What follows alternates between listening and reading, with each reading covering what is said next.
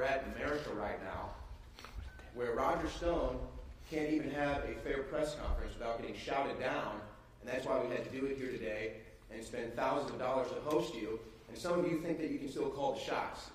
No wonder why President Trump calls you fake news and the enemy of the American people. So, really a sad display from y'all. Now, Roger Stone has been silenced on social media. Roger Stone's platform at Infowars.com has also been silenced. So this man is not even allowed to defend his own honor because they are ripping his voice away from him. And in case you can't tell, Roger and I are probably looking pretty tired today. Because ever since what I view as the illegal FBI raid on Roger Stone's house, he has received numerous death threats, numerous media inquiries, and it's almost been impossible for us to sleep through this endeavor. Now, anybody who saw the FBI raid on Roger Stone's house knows that it was clear to me, beyond a reasonable doubt, that somehow CNN got a leak. And now you have congressmen calling for an investigation into that. You've also seen a lot of violence against Trump supporters and a lot of threats, as I said, against Roger Stone. So now we have to walk around with increased security. In fact, there are a lot of people doubting a story that I was sexually harassed in Washington, D.C. by a Women's March protester marching against sexual harassment, sexually harassed me. People are doubting that story, saying it's fake news. Well, I'm going to go ahead and give out this individual's name, and I'm begging, unlike people on the left, unlike what you did to the Covington Catholic High School boys, and unlike what you've done to Roger Stone, I hope that you would not dox this woman and you would leave her alone. But Isabel O'Shaughnessy was arrested for sexually assaulting me. Okay? Also, yesterday, I had a man try to rub spit in my eye. And this is all thanks to the lies in the mainstream media. And now they're trying to destroy an innocent man, Roger Stone. And I am just, I am just at, in a disbelief at how Roger has been able to keep his composure and maintain his energy throughout all of this.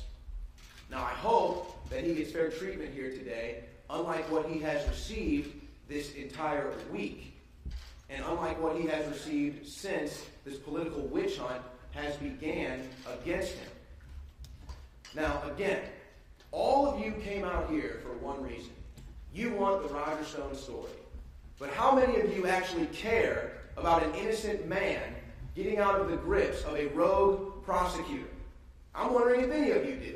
You were more obsessed with getting your shot than getting the truth out about Roger Stone at a press conference that you didn't pay a dime to be at, and you're begging for Roger to give you any quote all day long. So I just ask you, do you care that an innocent man is being politically persecuted right now, or do you just care about your own ratings? Is that why you lie about President Trump? Is that why you lie about Trump supporters? Is that why you lie about Roger Stone?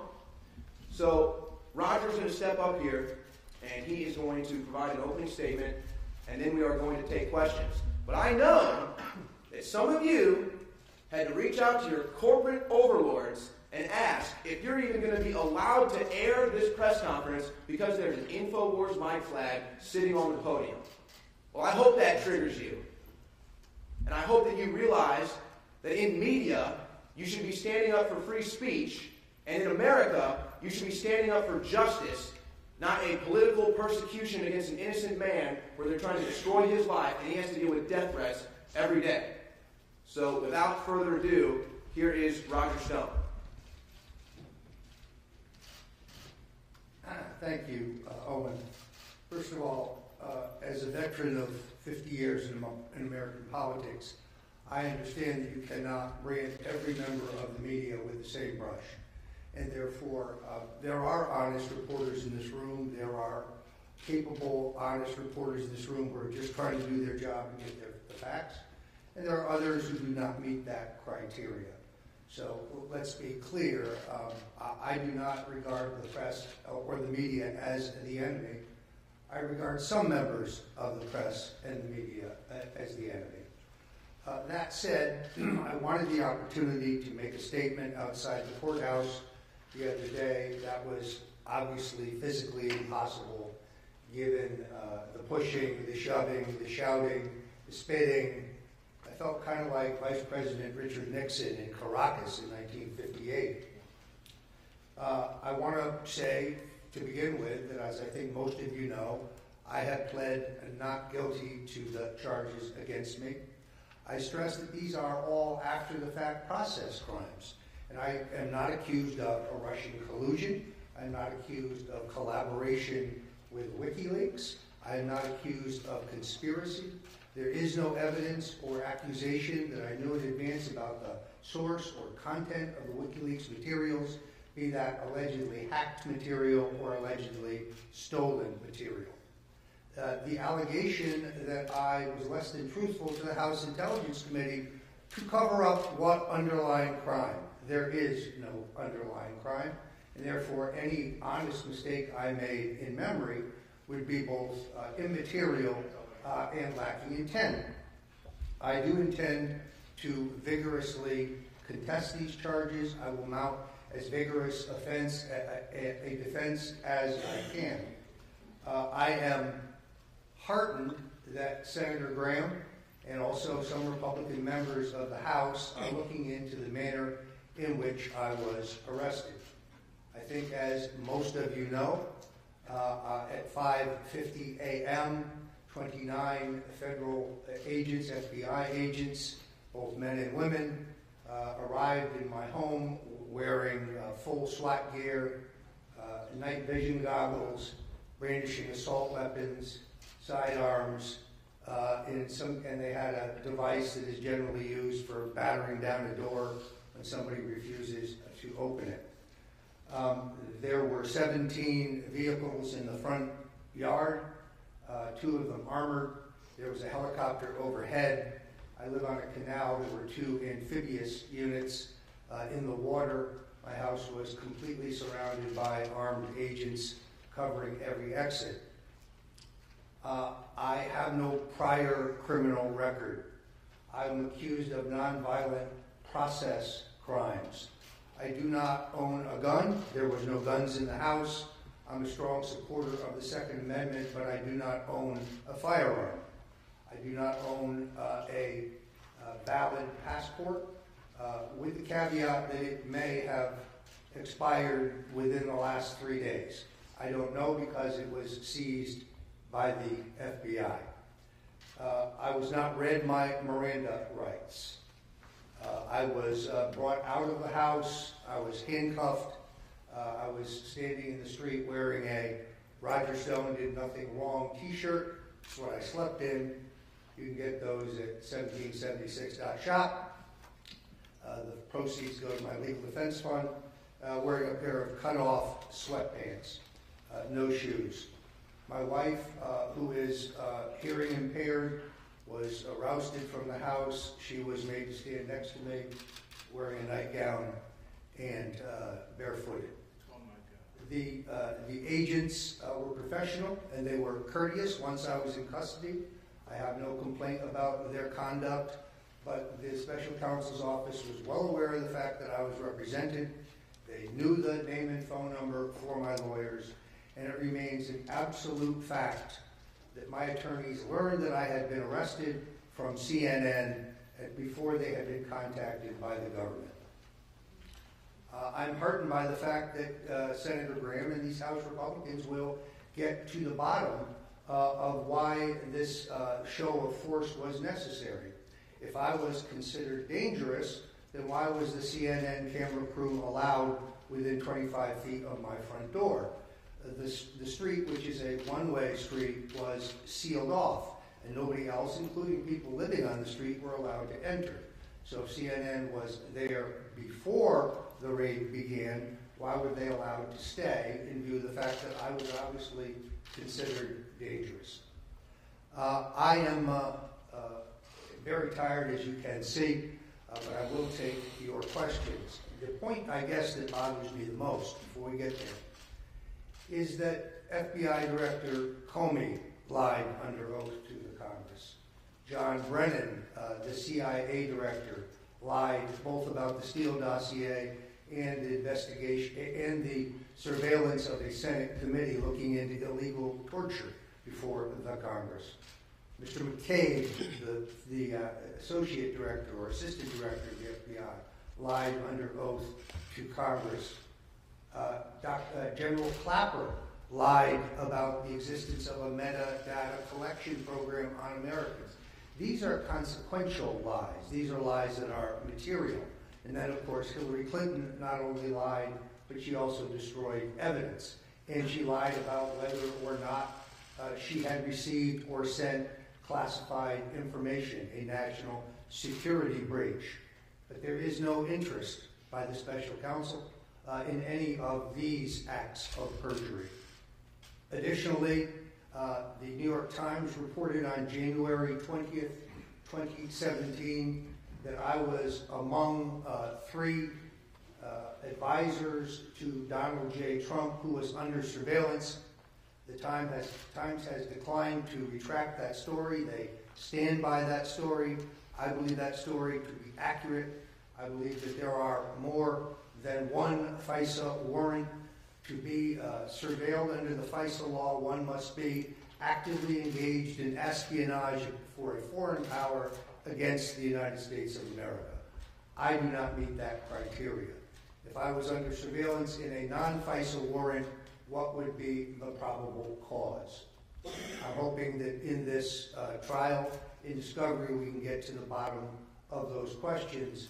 But uh, you know that even though I forgot uh, before the committee that I had been approached by a man named Henry Greenberg, who was an ethnic, ethnic Russian, uh, and offered to sell me information about Hillary Clinton, a, uh, an offer that I flatly refused, as accurately reported by the Washington Post. There's been no, uh, there's been no allegation regarding Mr. Greenberg. That's because Mr. Greenberg is an FBI informant That's because Mr. Greenberg is in the country, was in the country, has been in the country under an FBI informant's warrant. Why was an FBI informant approaching me in May of 2016, two months prior to the FBI saying they had opened their investigation into allegations of, the president's campaign colluding with the Russians? These are questions that we hope to get to the bottom of. Uh, I am uh, grateful to InfoWars for sponsoring this because, in all honesty, I lack the personal resources to uh, pay for this room, to pay for this microphone, Mr. Green, to uh, pay for any of, of this, and therefore I'm grateful to my colleagues at InfoWars for making this room available. I'm grateful to all of you for showing up. Um, I have been fighting a war of censorship. I have a syndicated radio show with Owen Shroyer, my colleague, every day at 5 o'clock Eastern, 4 o'clock Central, called The War Room. Uh, we are censored across multiple social media platforms. You don't have to agree with us, you have to agree with Alex Jones, you have to agree with anything we say to agree with our right to express ourselves. It's called the First Amendment. Uh, it, is, uh, it has also been very difficult given the uh, censorship and the shadow banning on Facebook for me to sell my books. I'm a New York Times best-selling author. Uh, I have written five books, soon to be six, uh, and I have succeeded in making those books uh, uh, successful and bestsellers through the use of the extraordinarily effective targeting capability of Facebook, which is now denied me because any paid promotion that I propose is rejected for inappropriate content even if the subject of the book is how a gentleman should dress. Uh, I will be happy uh, to take your questions now. Let me say lastly, uh, as I must, those who wish to help me can go to stonedefensefund.com. Thousands of Americans have. Uh, the special counsel has the unlimited resources of the American taxpayers, has a platoon of Ivy League lawyers I'm very happy with my legal representation, uh, but they need to get paid. Lawyers are not inexpensive in America. I'm happy to take a few Roger, questions now. Roger, I talked to Chris Christie this morning. Yes. So, yeah, I spoke to Chris Christie this morning about the details of the indictment. And Yes. As you know, he's a former prosecutor, Yes. a Republican, and a Trump supporter. Yes. Pretty knowledgeable on this and pretty fair, I think. He suggests the liability, I asked him what's, what's, what does he think is the strongest liability in the indictment? And he said, on the issue of perjury, which you said you either have a faulty memory or it's immaterial. I said, maybe that's true. But he said, the problem sees it is on the witness tampering, because even if you were joking, if the witness perceived it as intimidation, that's a problem. Uh, But the witness also intimidated me. The witness, first of all, perjured himself before the grand jury about being the source of the content uh, and the October release date of the WikiLeaks material. When I released over 30 pages of text messages proving that, very, very few media outlets reported that. They all reported his denials. MSNBC reported them almost in a serial nature, but nobody reported, virtually nobody reported uh, my uh, pr- production of proof. Uh, secondarily, uh, the same man threatened to put a bullet in the head of one of the other exculpatory witnesses before Mr. Mueller's probe. That was reported by the Daily Caller. Additionally, he threatened to have a woman falsely accuse me of sexual assault. So he hasn't been uh, he hasn't been indicted for perjury. He hasn't been indicted for witness intimidation or witness tampering.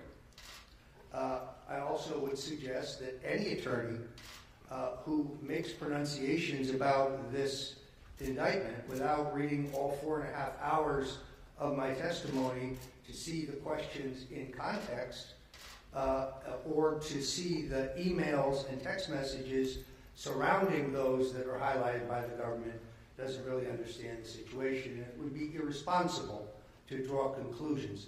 I'm represented by Bruce Rogow, uh, Grant Smith, uh, Robert Buschel, and Tara Campion. Uh, they are excellent, excellent attorneys. Mr. Rogow has argued before the U.S. Supreme Court on 11 occasions.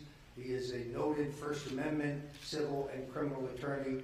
He believes that this uh, indictment is flawed. Roger, Roger, you, you Yes. actually said you won't bear false witness against the president.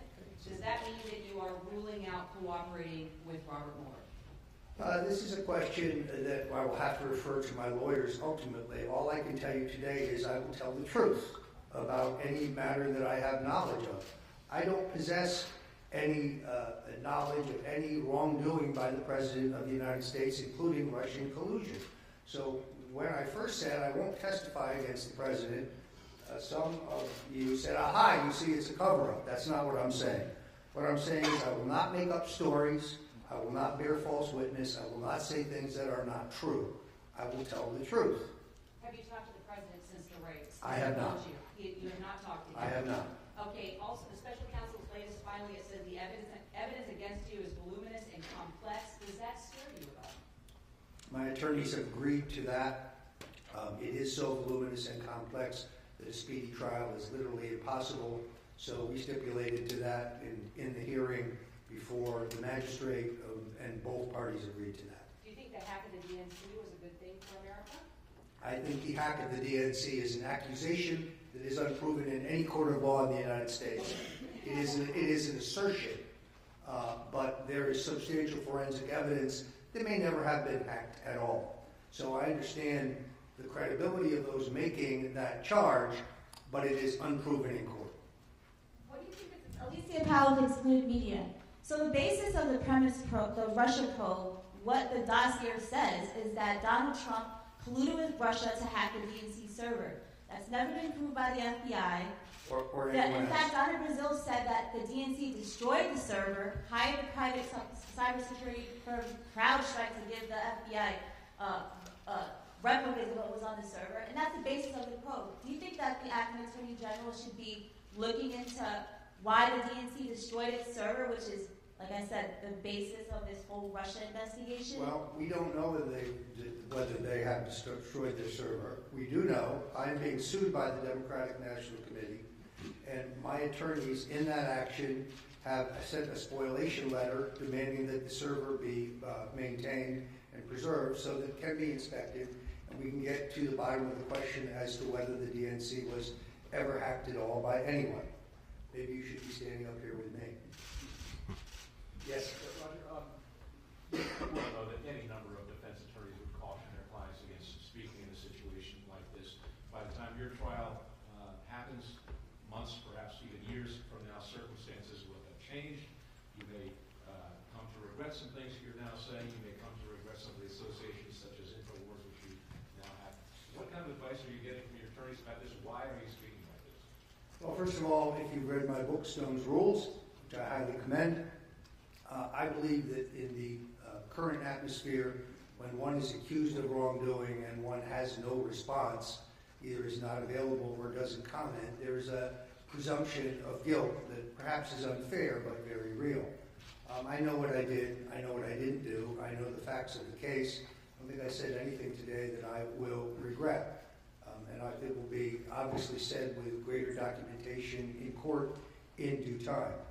As far as InfoWars is concerned, it's a media outlet. It's a network. I don't subscribe to everything Alex Jones says. Alex Jones doesn't subscribe to everything that I say. I'm probably a bit more libertarian than he is. We have many talented people there, but it is a perfectly reputable platform. Uh, I'm responsible for the things that I say. Uh, I agree with Alex Jones on a number of things. I'm a nationalist. He's a nationalist. We believe in American sovereignty. We believe in American exceptionalism. Uh, I'm grateful to them for for hosting this because otherwise I have no reasonable forum in which I can answer your questions. My cell phone, my uh, my cell phone uh, is the only electronic device that I still have, which was restored to me by the FBI. I'm 400 messages behind from reporters wanting to ask me questions, so this was the most efficient way to do so. Roger, if you take yourself out of the equation, uh, and you just look at the broad scope of this, how do you explain the fact that Manafort, Flynn, Cohen, Papadopoulos case, all have been found guilty of lying and all about one issue, which is Russia? Uh, I'm not sure I agree with that with that formulation. Uh, they they were accused of that. I'm not any of them. I can only speak to my own case, and I am not guilty. Are you ready tomorrow for Judge Jackson to give you a gag order? Um, that's certainly a possibility. Um, we'll deal with that when it comes. I would point out that I make a living writing and speaking about politics. I would hope that the court would take that into consideration. Obviously, um, the government has not made a motion for that as of today. We're aware of. It would require a hearing, as I understand it. Obviously, I adhere to any ruling of the court uh, if they should do that. Um, on the other hand, I would also have the right, as I understand it, to appeal. So uh, let's see what happens. Roger, it looks like, it, uh, looks like Yeah. investigators still want to talk to Andrew Miller. Are you prepared for uh, the potential of a superseding indictment? What Um, charges? I'm not aware of any information Mr. Miller has that would be detrimental to me. I have not spoken to Mr. Miller since the time that he was subpoenaed. Uh, Mr. Miller did not work for me in 2015 or 2016. He did attend the Republican National Convention. I looked around, I didn't see any Russians. You mentioned in a recent interview, Roger Jerome Corsi. Do you think he's going to be indicted? Uh, I couldn't speculate. Expanding on Corsi, recently you, uh, you told me that you were uh, considering a lawsuit against Corsi for defamation in light of him uh, continuing to uh, say things that you would say are, are false. Actually, uh, I never said I was looking at a lawsuit uh, in defamation. I was looking at the possibility of a lawsuit where you could get a declaration uh, the statement is true or false that is allowed under our law. I think perhaps events have moved beyond that. I'm not going to get down in the gutter with Mr. Corsi. I have already said the number of things that he said are untrue. I believe that that will get proved uh, at trial when the appropriate time comes. Yes, uh, Mr. Stone, aside from your house being violated, your reputation's been violated. Uh, You made a comment about advocating for the pardon of Marcus Garvey, and some of the mainstream media has almost implied that you're racist and that was insincere. And of course, I don't agree with that. Would you please clarify your stance? Yeah, th- this is one of the things that is uh, hurtful because uh, I think people tend to put you in, in a box because I'm a, a Republican. But let me make this point. I have been an advocate for drug law reform for 25 years. I have been a- an opponent uh, and critic of the 1994 crime bill in which poor people and African Americans are subject to much harsher mandatory sentences for the possession of rock cocaine than wealthy white people who are in possession of uh, powdered cocaine. President Trump has just fixed that problem uh, in the more recent sentencing reform bill. Secondarily, uh, it, I know that this is not a popular view, but it's one that I must say. I worked for Richard Nixon. It is Richard Nixon who desegregated the public schools, not Lyndon Johnson, not John F. Kennedy. It is Richard Nixon who gave us affirmative action. I'm one of the few conservatives who's written and spoken in favor of affirmative action. I think it was necessary. Uh, it was Richard Nixon who quadrupled law enforcement for civil rights law enforcement. It was Richard Nixon who quadrupled, pardon me, increased ninefold funding for black colleges. So uh, I and I have long been uh, very interested in a posthumous pardon for Marcus Garvey, someone that I have written, read extensively about, someone who is actually one of my political heroes. I believe he was unfairly railroaded by the FBI. So when I was asked, have I asked the president for a pardon? The answer is no. Have I discussed it with anyone who works for the president? The answer is no. The only person I have ever written to the president advocating a pardon for is Marcus Garvey. You said that the Russian probe is a speeding bullet headed towards Donald Trump's head. Can you elaborate with me? Yes, I, I believe the purpose of this probe is to undo the results of the 2016 election. I think it is a partisan uh, by nature of the fact that they showed no interest in the uh, Russian collusion by Hillary Clinton, the, uh, the acceptance, as reported by the New York Times, of $145 million from the Russian-owned energy company at a time when control of 20% of our energy reserves were on the table for a shift of control to the Russian state. Uh, that, I think that's an, maybe the most, uh, the largest treasonous financial crime in American history. Um, the illegal use of FISA warrants and surveillance, uh, which is uh, an abuse of power using the authority and capability of the state, which dwarfs what happened in Watergate as a constitutional crisis. Uh, the, the illegitimate use of the FBI to infiltrate the Trump campaign. There's no interest in any of these issues. All we keep talking about is non-existent Russian collusion. There's a substantial difference, in my opinion, between Russian collusion, which we have found no evidence of, that would be conspiracy, coordination with the Trump campaign, and Russian meddling, which appeared to me to be ham-handed, underfunded, incompetently done, and was at various times pro-Hillary, anti-Hillary, pro-Bernie, anti-Bernie, pro-Trump, anti-Trump, seeking just to sow the seeds of discontent among Americans. Uh, Roger, Alex Jones would like you to address what the president should do in response to the rogue special counsel and also talk about the Democrat connections to Robert Mueller and the Russians. Um, uh, what, uh, what, what Owen uh, speaks to is the fact that um, the president, in my opinion, should appoint a special counsel to uh, investigate the, uh, the illicit use of FISA warrants uh, and the illicit uh, uh, infiltration of his campaign by the FBI. He should direct his attorney general, either the acting attorney general or his new attorney general, to do that. He has that authority. I also think he should declassify the documents surrounding the FISA warrants and find out whether there are additional FISA warrants, as I believe they are.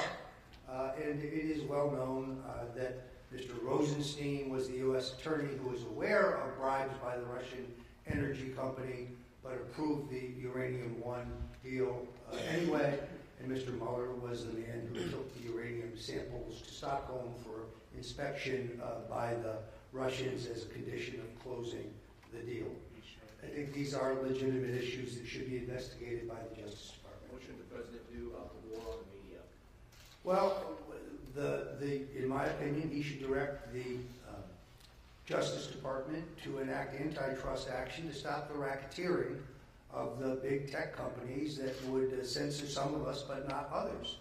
Uh, when I see uh, Jerry Nadler sit in the Google hearing before the House Judiciary Committee and say censorship of conservatives by Google is a, is a conspiracy theory, that's not true. We have internal memos, we have internal videos from Google, we have, we have extensive proof that that is a willful strategy by those companies to believe that everybody banned InfoWars on the same day, but they never spoke to each other.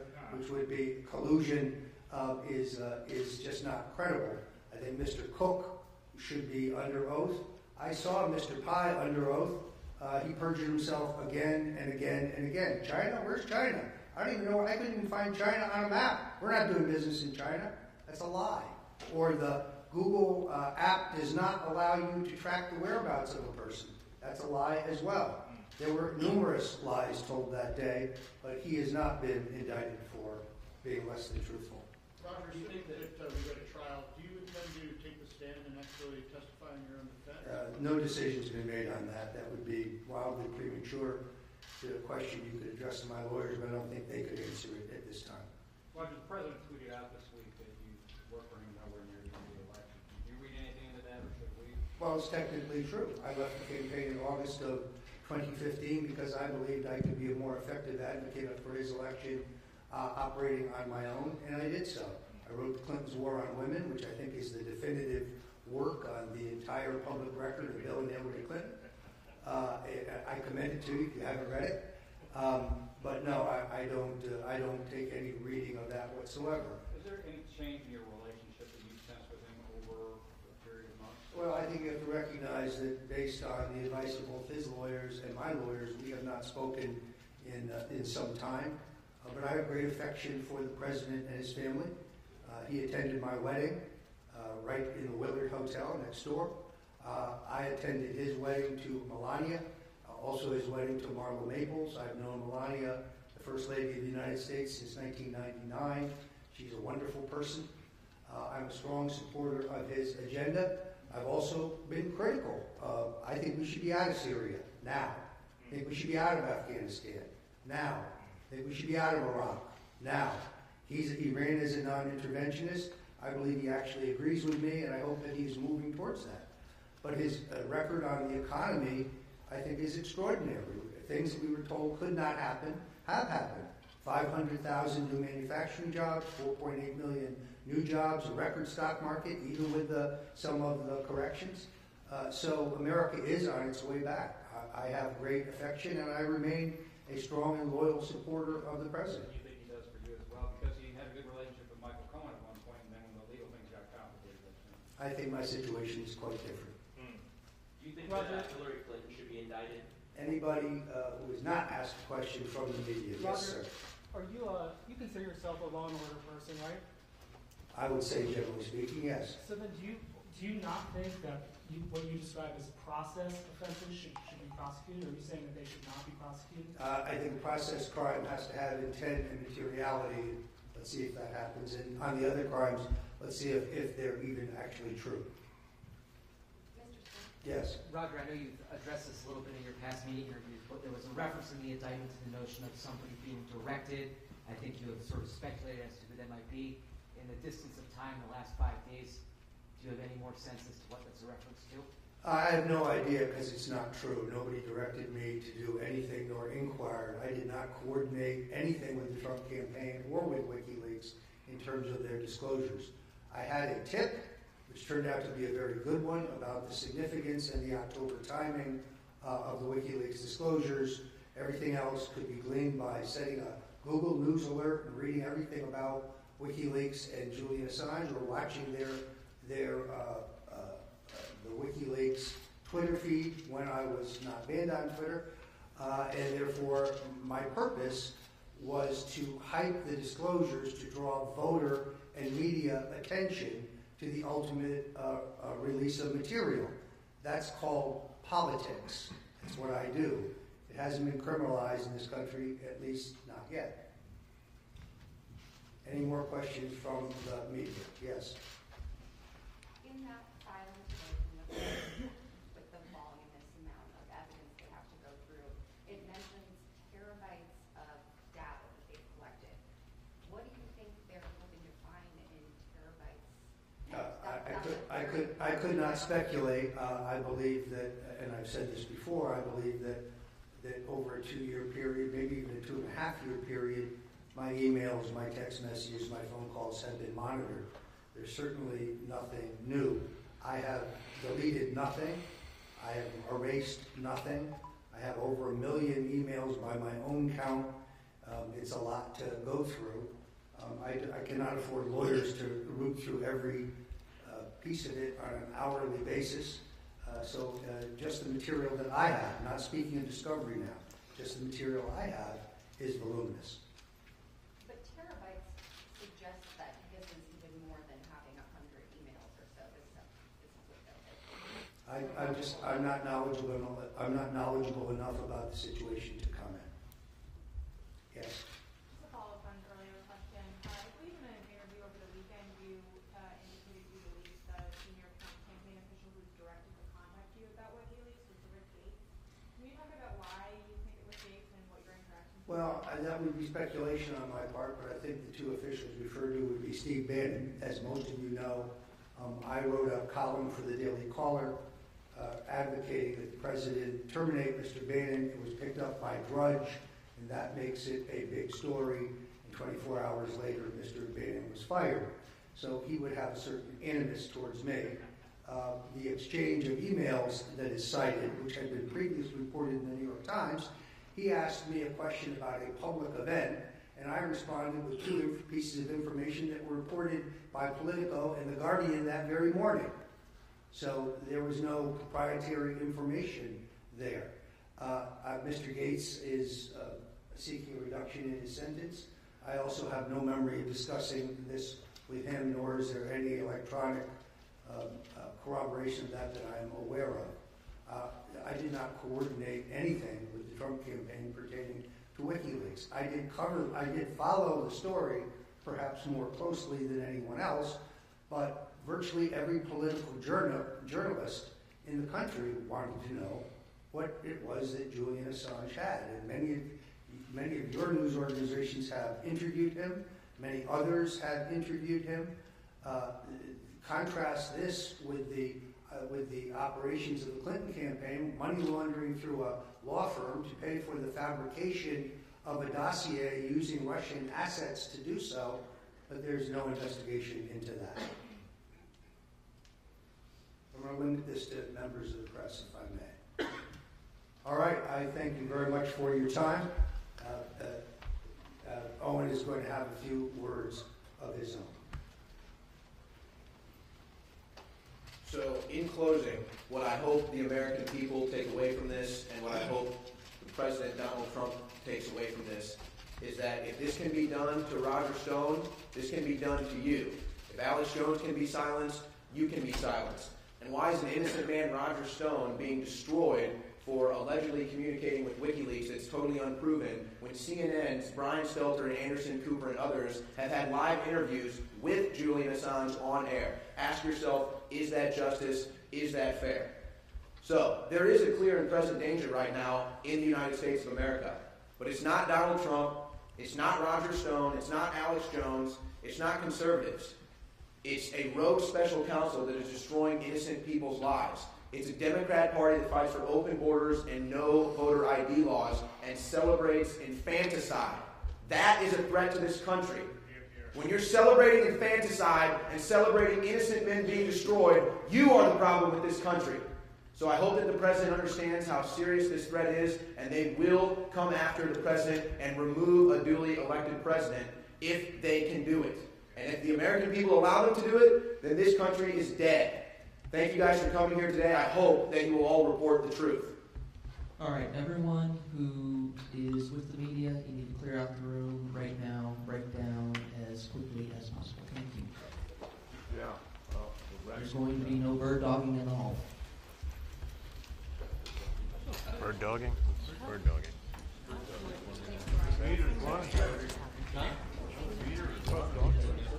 How about, how about bird shit?